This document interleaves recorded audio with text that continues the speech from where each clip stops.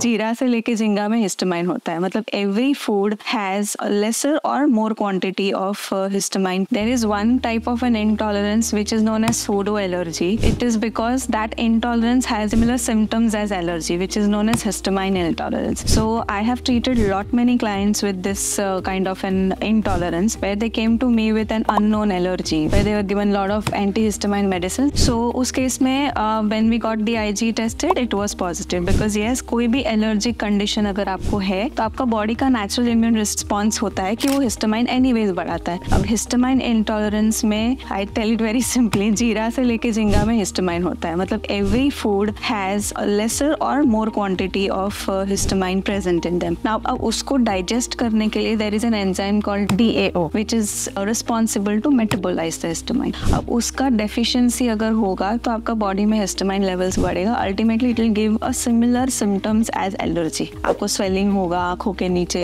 head पे lips पे you will also get rashes and hives तो it can also be fatal in a way that you can have a breathing issues तो